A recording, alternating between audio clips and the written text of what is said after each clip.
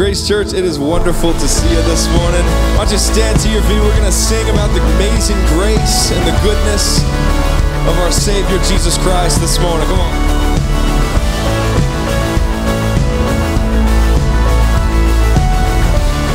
Who breaks the power? Here we go.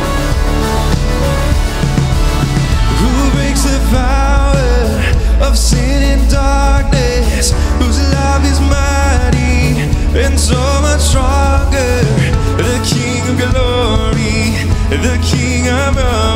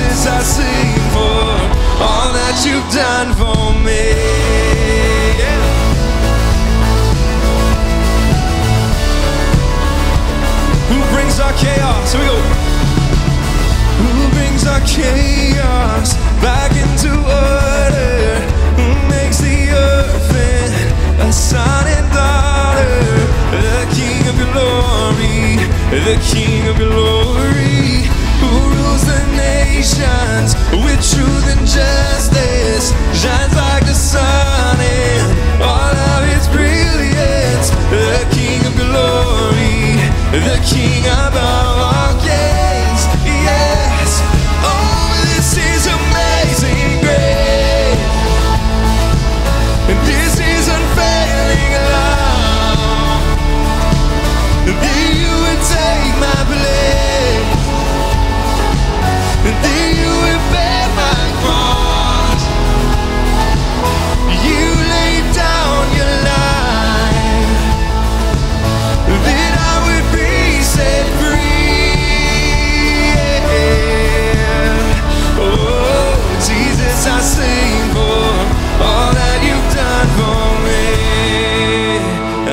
response is worthy.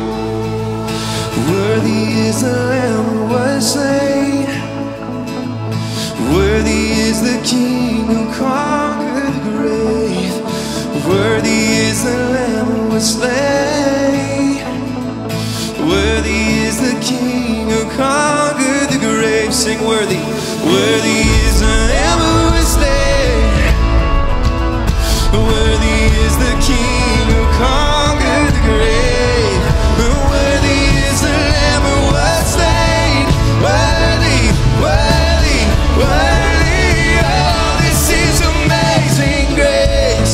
hands together like this. This is unfailing love. Yes. You would take my place. That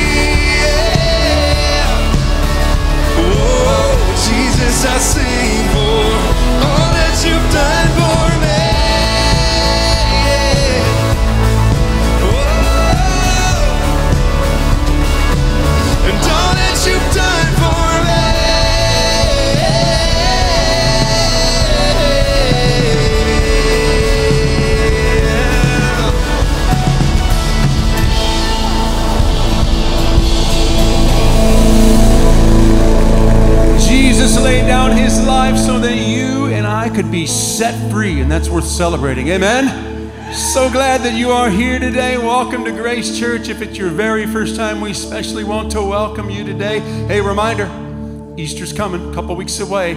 8 o'clock, 9.30, and 11.15. Here's the deal 9.30 and 11.15 here in Eden Prairie, full. Uh, it's a great problem. But if you've saved 92 seats, thinking that you've got like, and you're really only going to need six, if you could release those other seats, just go online and release those seats so that others can come in. That would be great. So go go to grace.church slash Easter and unreserve some seats if you don't think you're going to use them all. We still got space at 8 a.m. We got space over in Chaska as well.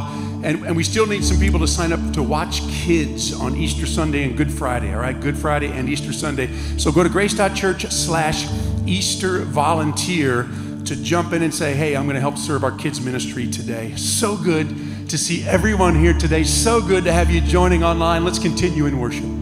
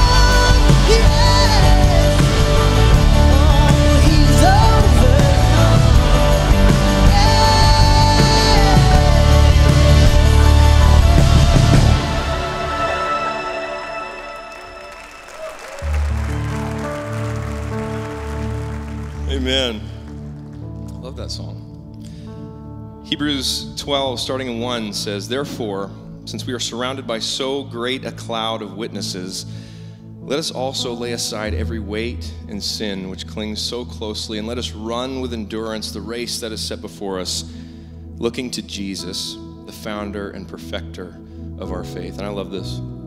Who for the joy that was set before him endured the cross, despising the shame, and is seated at the right hand of the throne of God. You know, in every world system or philosophy or religion, the gospel stands alone. You know, every other system says you got to clean yourself up, you know, button up, you got to be presentable to be accepted. Uh, you have to meet some kind of certain standard for God to accept you. But the gospel, Christianity, is this isn't this isn't a room of people that have it all together. This is a room full of sinners who Jesus Christ has turned into saints by the blood of his cross. Amen. So when we come to Jesus, we don't come with everything all put together. We come with really empty-handed, with nothing but our sin. I heard this quote. It said, "We I contributed nothing to my salvation but the sin that made it necessary." Jesus is the central figure of the universe. He's a central figure of the Bible. So the entire Old Testament it sets up why we need a savior. It points forward to him, it predicts him. The gospels reveal him, the epistles and the letters explain him and Revelation talks about how he's coming back. So when we come to Jesus, we come open-handed and we're not met with demands. We're not met with hostility. We're met with grace. And so it's truly in Christ alone. And so until he returns, or he calls us home, here in the power of Christ, we stand. Let's sing.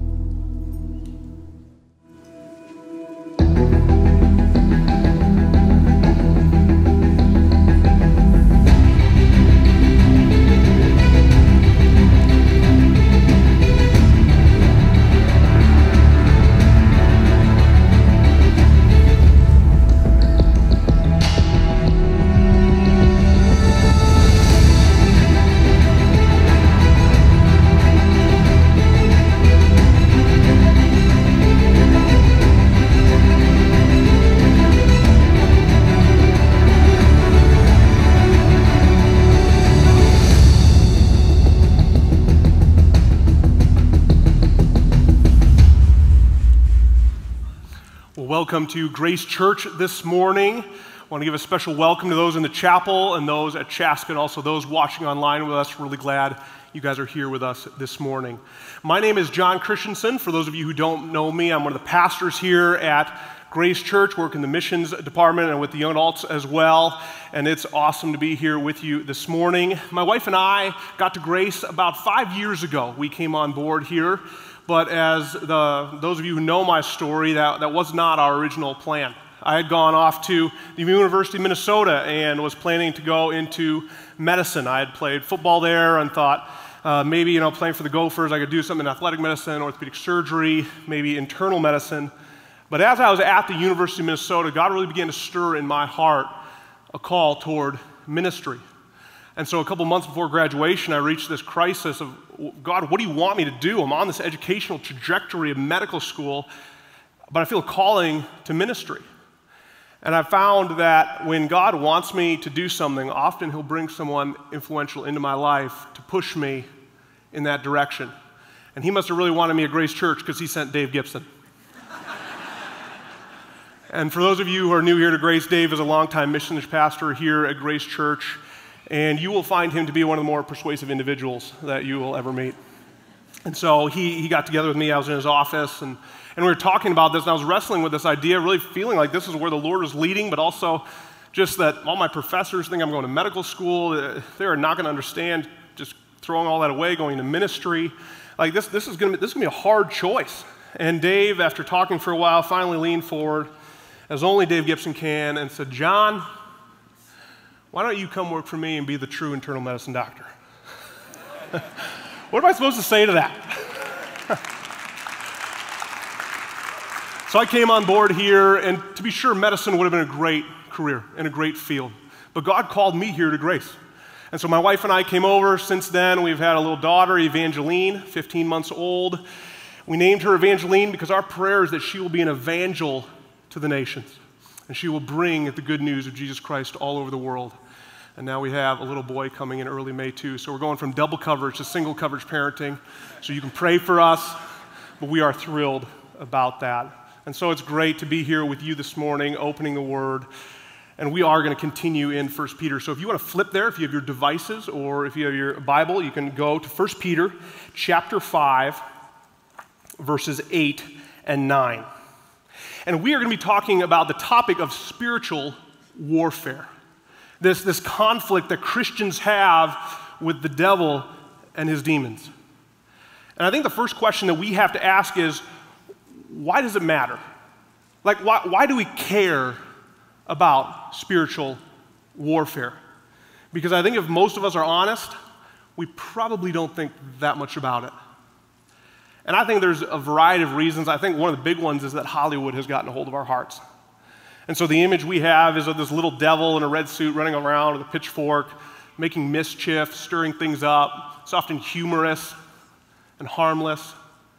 But when we pick up the Word of God and flip through these pages, we see a very different story. We see, first of all, that the devil and his angels are real. And second, that believers should take them really seriously. So the devil and his angels are created beings, spiritual beings, that rebelled against God and were cast out of heaven. They now live with the sole purpose to wage war against God and his people. And I once heard it said that uh, if we could see the spiritual battle around us, that you and I would never get out of bed in the morning without first praying for protection. And you know the, the story, right?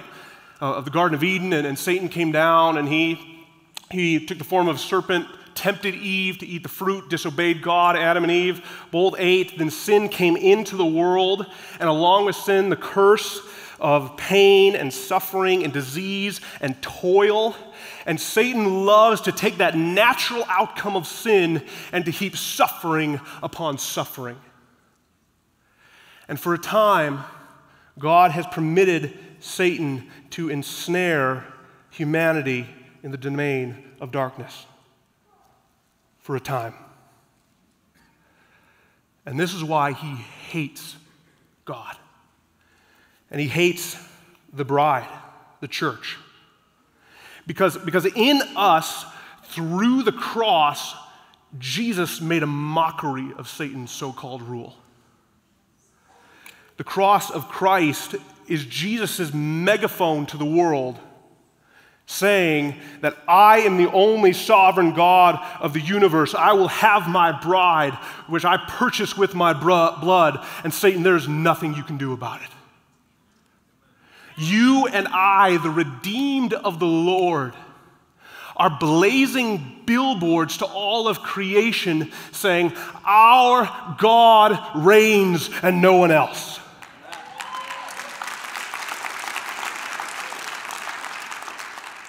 And Satan hates it.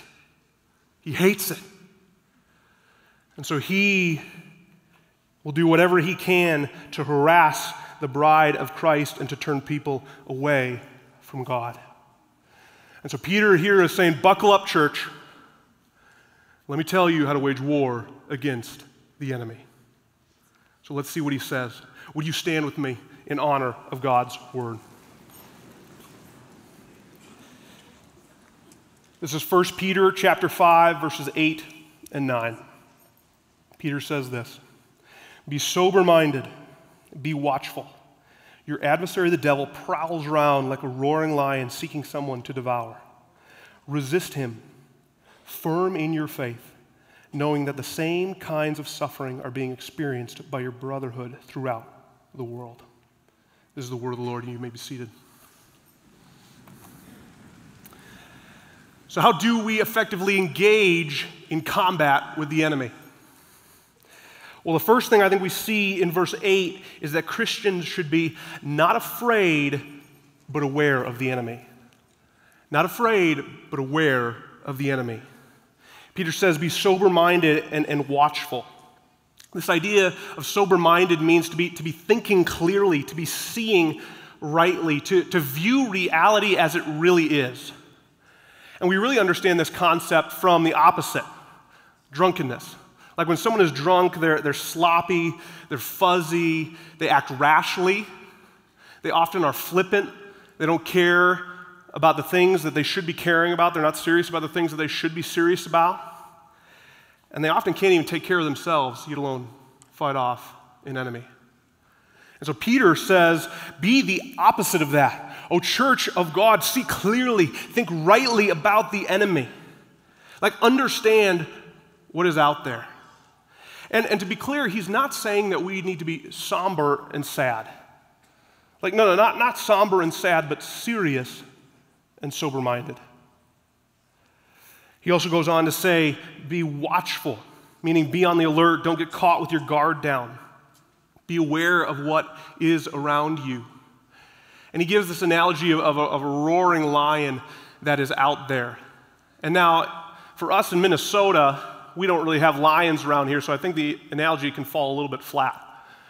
But we do have other animals, like bears. And so I think about like if you or I were up in the northern woods and we're walking along a path and the path took a turn. And, and we didn't see what was around, around the turn, but all of a sudden you're walking along and you hear a bear growl. Whatever you were daydreaming about is going to be gone. You are going to be really watchful and really sober minded. Or maybe even a better analogy would be if you're up in the northern woods walking along with a park ranger. And the park ranger's walking along, and all of a sudden he sticks his hand out and says, Hey, wait a second. See these imprints in the, in the, in the mud? Those are bear tracks. Like, we don't, we don't have to worry, but, but do, do keep an eye out. Like, you and I would heed that advice. We would keep an eye out. And Peter, here in God's word, is like the park ranger. He's saying, Hang on there, Christian. There's something you need to know. There's a roaring lion walking about, and so keep an eye out. Like, don't be unaware. And I think, in addition to don't be unaware, is don't be afraid. Like, we should be not anxious at all if we're Christians about the devil. Like, that would not be sober minded. That would not be thinking rightly either, because greater is he who is in you than he who is in the world. And so we shouldn't be scared of the devil. We shouldn't, we shouldn't have anxiety over him. Yes, he has malice toward the church. Yes, he's a roaring lion, but he is a toothless lion that was defanged at the cross of Calvary when Jesus took your sin and mine and nailed it to the cross, canceling the certificate of debt and putting Satan to open shame. And if you have trusted in Christ here today, you are being held by the omnipotent hand of Almighty God who said, I will never leave you or forsake you. That's our hope as Christians. And so Peter says, Don't be afraid of the devil. And I don't know if you thought of this, but the, the writer of this book is the very apostle to whom Jesus was speaking in Luke 22. When Jesus said, Peter, Peter, the devil has come before God and asked permission to sift you like wheat. But what did Jesus say? He said, But Peter, I have prayed for you that your faith may not fail. Peter knew the reality of the enemy. Like this, this was no light matter for Peter. But he also knew the supremacy of the risen Christ, the author and perfecter of his faith. And so he says, not afraid, but aware of the enemy. Second, Peter says Christians are not helpless, but able to resist. Not helpless, but able to resist. Look at the first part of verse 9. It says, Resist him, firm in your faith. And Peter wouldn't say resist him if we couldn't do it. Like, I think some of us sometimes live this defeated life like, oh man, Satan's so strong. I'm so weak. My flesh is just getting the best of me. I just can't get over this, this sin. And Peter says, like, yeah, it's hard. Yeah, he's a roaring lion, but you can hit back. You, you can resist him. But the question for us today is, is how? How? How do we resist the devil? Well, I think the first thing we need to look at is what, what Peter says. He says, resist him firm in your faith. Thus, the, the means of resisting the devil is being firm in your faith.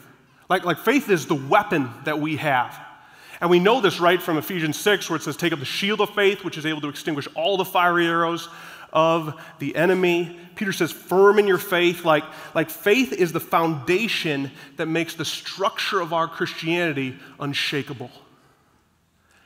And our, our faith or, or our belief has to have an object. Like faith in what? Belief in what? Well, it's faith in the person of Christ, who he is and what he said. So, fighting the fight of faith means fighting to believe God and his word. It's battling to believe God's truth. Which makes perfect sense that, that faith is the main weapon against Satan. Because when you think about it, what does the Bible say Satan is? He says he's a father of lies. He says he's a deceiver. When we talk about the flaming arrows of the enemy in a metaphorical sense, what we mean are all the times that Satan is, is tempting us to believe lies. Like, you sin too much. God can't cover that grace with grace. You're, you're past His grace. Or see what God's letting you go through. He doesn't love you, He doesn't care about you. He doesn't care about you. Or look at this sin. No, no, it's, it's better than following the Lord. No, it's more pleasurable. Trust me. Now just, just taste it. You'll see. You'll see. And Satan comes in with lies, and we fight with truth the truth of God's word. And so when, when you are tempted to doubt God's goodness, you, you preach to yourself like the, the writer of Psalm 42. It says, Why are you in despair, O my soul? Hope in God, I will again praise him. It's like Jesus in the wilderness when, when uh, Satan comes in and tempts him, and he throws out scripture combating the lies of Satan with the word of God. And why do you think the psalmist in 119 says, God, I, I hide your word in my heart that I might not sin against you? He's fighting the fight of faith. He's battling to believe the Word of God. And, and, so, hear me, Grace Church, when I say this. We resist Satan's lies by making war on those lies. We resist Satan's lies by making war on those lies with the Word of God. So, Peter says, that we're not helpless, but able to resist. And finally, Peter reminds believers that they are not alone, but encouraged through others. Look at verse 9 again. It says, Resist him, firm in the faith, knowing that the same kinds of suffering are being experienced by your brotherhood throughout the world. Like Peter knows what he's telling these believers is really hard.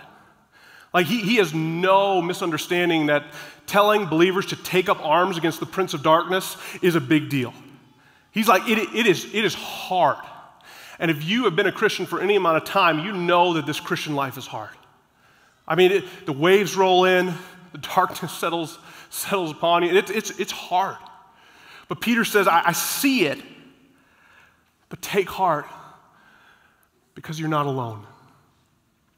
And I don't think it's an accident that Peter says same kinds of suffering rather than simply saying suffering.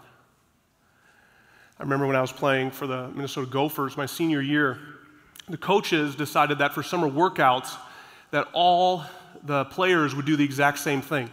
So for the running in the summer, all the old linemen, running backs, wide receivers would all run the exact same thing. And I think the idea was to build camaraderie or something like that.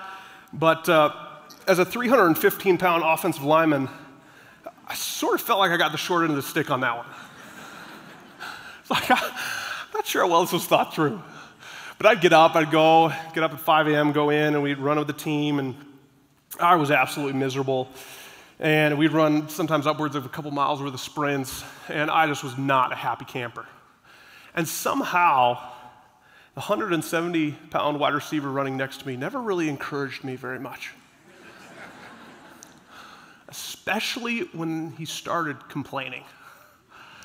I'm like, you literally have the body of an Olympic sprinter. Like, God made you to run.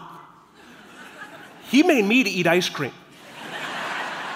Like, this is not my natural state. And so I was miserable. They were making me more miserable. But I'll tell you what, there was one position group that did encourage my heart. It was the other offensive lineman. Because I knew that they understood my pain, and I understood theirs. And if they were pressing through, I knew I could as well.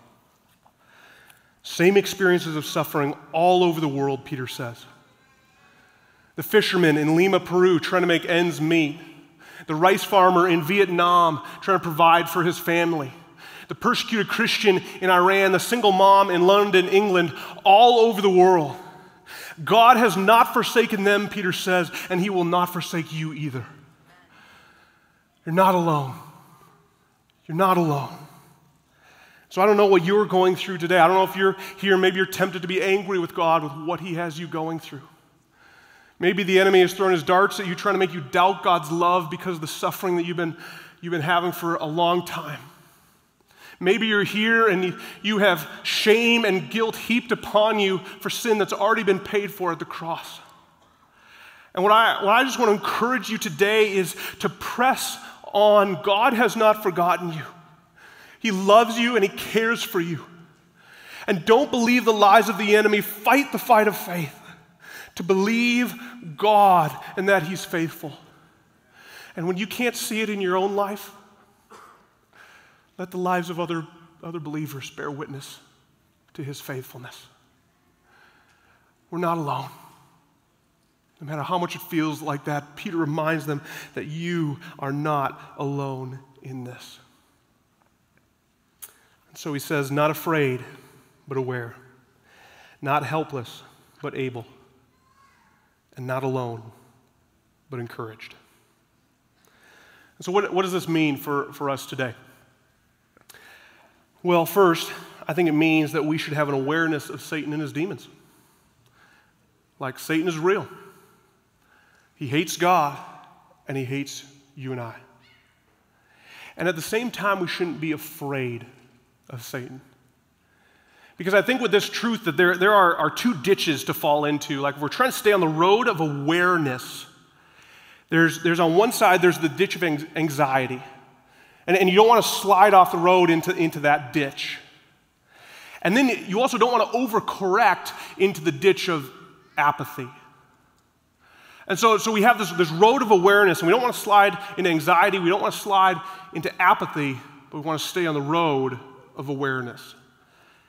And I think the litmus test for telling if we are on that road of awareness is examining our prayer lives. Like, do you pray for protection against the enemy? Do you pray that God would destroy the work of the devil, which is why Jesus came, 1 John 3 8? And, and I would say this that, that the topic of spiritual warfare should not consume our prayer time, but it should be present in our prayer time. Like it, it, shouldn't, it shouldn't consume it, but it, it should be there. And if you find yourself anxious about the devil, worrying about him, probably a pretty good indication that you need to take your eyes off of Satan and onto the power and authority and glory and love of Jesus Christ.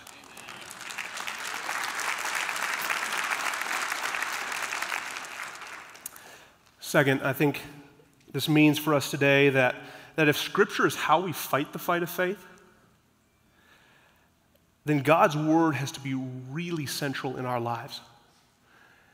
And by really central, I mean we need to hide it in our heart. And admittedly, you know, memorizing scripture is not one of the more fun topics that I think we talk about. I think a lot of times uh, we, we look at that and say, oh, that's just for super Christians. That's, it's not for, for me. But, but I, I would say this, and, and li- listen to this that memorizing scripture is not a duty for good Christians, it's a lifeline for desperate Christians. It's not a duty for good Christians, it's a lifeline for desperate Christians. Like going into the world as a Christian without God's word hidden in your heart is like a soldier going to battle without a weapon.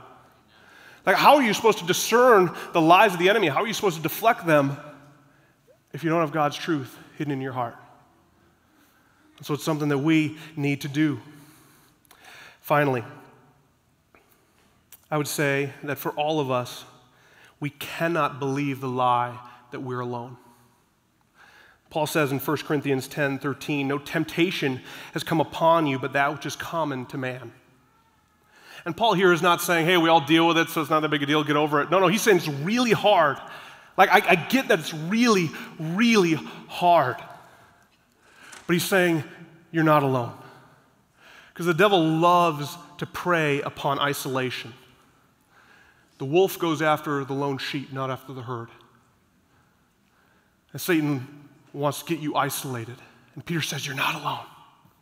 You're not alone. Believe it, saint. You are not alone, but you are surrounded by a great cloud of witnesses. So take heart. Take heart. You're not alone. So, some of you, as, as, you, uh, as you leave here today, you need to go home and you need to memorize Scripture. You need to get in God's Word and start hiding it in your heart. And, and I would say this that, that, that you should start where you are. Like maybe you're here and you've never memorized a verse in your life. Well, here, here are two verses we're going to put on the screen that you can memorize. These are verses that have spoken in my heart in, in the battle against the enemy. One in the old, one in the new. Isaiah 41. This has been one that has just, just come flooding in when the darkness has rolled into my life, when the fog has settled in, when I lay my head on my pillow at night and the tears just won't stop. This Isaiah 41:10 just oh, just preach it to my own soul. Fear not, for I am with you. There's five distinct promises in that verse. And so I, I just encourage you, commit that one to memory. Do battle with it against the enemy. The second one is, is Romans 8 28, and this is one that has really been meaningful to me when, when I don't see why the Lord closed that door. I don't see why He's operating this way. I don't see what you're doing, but I can trust that ultimately He's doing something good. Even when I'm walking through the fire right now. And so those two verses are a great place to start. And, and once you get through those, you can, you can ask a, a more mature believer hey, what, what nourishes your soul? What have you memorized? Or even better, when you're going through the Word, what, what sticks out to you? What, what pops on the page, what, what nourishes your heart, because that's the stuff that'll really stick. That's the stuff that's really meaningful to you, and it will stay with you the rest of your life. And so I encourage you to memorize God's word because then you'll be able to fight the fight of faith. You'll doubt the lies of the enemy. You can doubt your own doubts, but never doubt God's word. Hide it in your heart. And if you're here today and you're not in Christian community, like, what, what are you waiting for? Like, we have opportunities here at EP and Chaska. You can get plugged in with different ministries. Like, don't put it off. This Christian life was not meant to be, to be gone through alone. So I really encourage you to get, get plugged in if, if you're not already. And I, also, I would also say to, to the one who is here today and is really hurting, because we know that some of you here today are walking through some really deep water. Now you're just trying to get through today, and man, like you, you hear that suffering upon suffering, and you're like, yeah, that's me. Like we, we want to care for you today in any way that we can. We have a, we have a prayer room off to my right, your left. At Chaska, we have a prayer room as well. Like we want to minister to you in any way we can if, if, if we're able to. Like don't, don't go it alone. We want to come alongside you because this life is hard. It's really hard. And finally, I, I want to leave you with this thought. As we think about contending with the enemy in spiritual warfare, never forget Grace Church. Never forget the victory we have in the person of Jesus Christ.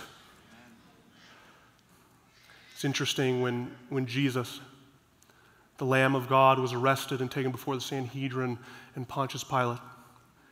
He didn't answer their questions, he stayed silent. Never forget that the silent lamb has defeated the roaring lion. Praise be to God.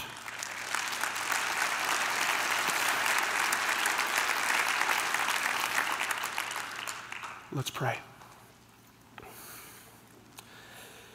Dear Jesus, we do praise you this morning as the one whose name is above every name, both in this age and in age to come, the one who is over all rule, authority, power, and dominion. And we praise you, Lord Jesus. God, I ask that you would help us to be watchful Christians. God, I feel it in my own soul how often I, I am not watchful. God, help me to be aware of the enemy. Help us to be aware of the enemy, but not afraid. And God, help us to resist the devil firm in our faith, that you would help us to hide your word in our heart, that we would be able to preach to our own souls when those lies come in. And God, help us to remember that we're never alone, but that you are always with us. So are our brothers and sisters in Christ. God, you are so far above all things in this earth. We love you, Lord, and we praise you. And we thank you that the silent lamb has defeated the roaring lion. For yours is the victory, the dominion, and the glory forever.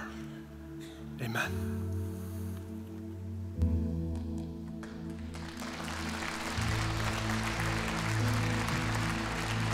Amen. Let's stand together.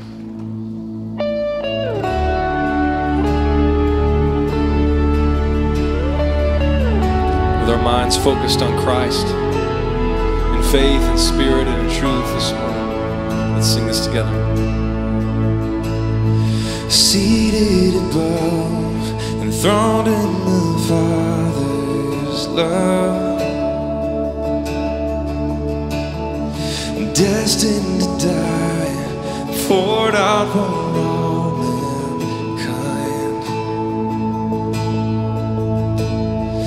God's only Son, perfect and spotless one. And he never sinned, but suffered as if he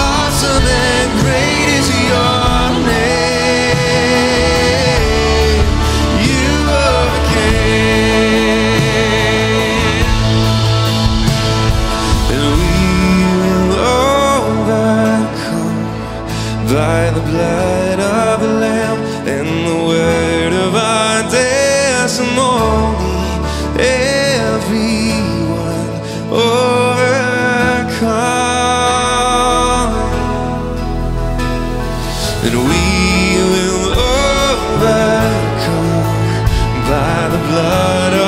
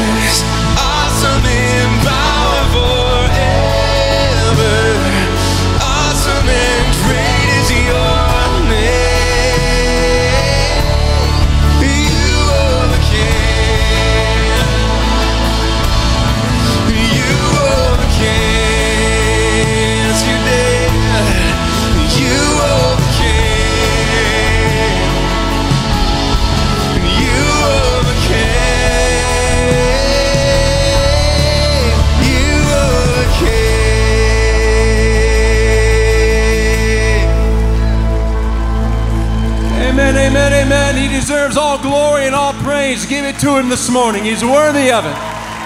Bless the Lord. We love you, Lord. We love you. Wow. Bless you, Lord. You can be seated. Oh, good to sing together. Good to be together today. So glad you've come. Continue in worship this morning. Um, we've sung together. We study the word together. We fellowship together. We serve together. We give together. If you've come today, prepared to give. There's giving stations at all the entrances and the exits. If you're watching online, thanks for joining us today. You can give online at grace.church slash give, or you can give in the Grace Church app. Um, you know, your, your giving, your faithfulness, your obedience, generosity allows us, uh, your church, our church, to continue to share the gospel across the street and around the world. Thank you for your generosity again. If you've come prepared to give, there's a little QR code. We, we just thank you, Justin, and the communications team. They, they put this little sticker on the back of every other seat. You guys, Beth, do you see a QR code there in the front, right? So take that little QR code, take your phone, open up your camera, and if you're prepared to give today, you can give there. But also, that's going to become our new digital bulletin. All right, so we're not printing hardly anything anymore. So take that each Sunday, just scan it, and, and you'll, you'll see a little screen that'll pop up. It'll allow you to give. It'll allow you to connect. If you're brand new to Grace Church, you want to get connected here. If you want to register your attendance for Easter or, you know, let some seats go for Easter, remember that. Go on and do that. But yeah, just take that out. And also, if you have a prayer request, just scan that little code. There's a place for you to submit a prayer request. We would like to be able to pray for you, all right? Let's stand together as we close in prayer. And if you're here today, and you'd like to pray with somebody right now, I invite you just to come forward, and some from our ministry team will be here. I'd like to pray for you in our prayer room right over here, and uh, just offer those needs up to the Lord. Wow, so good to see. Look how many people are here, you guys. This is awesome.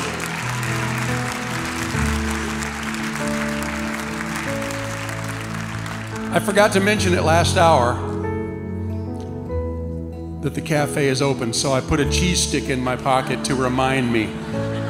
Cafe is now open. Last week it was donuts. This week it's a cheese stick. They got awesome cheese sticks in there. Get in there and get a cheese stick. And if you're sitting in the overflow, cool thing about sitting in the overflow, you're right next to the cafe. You can get coffee and food right there. So go on out and overwhelm them at the cafe, all right? Let's, uh, let's pray and be dismissed. King Jesus, we love you. We want to commit every step to you as we leave this place. Help us, King Jesus, to honor you every step of the way as we leave here today and throughout this week. Bring us back safely next week, Jesus. We pray it in your powerful name. Everybody said, Amen. See you later.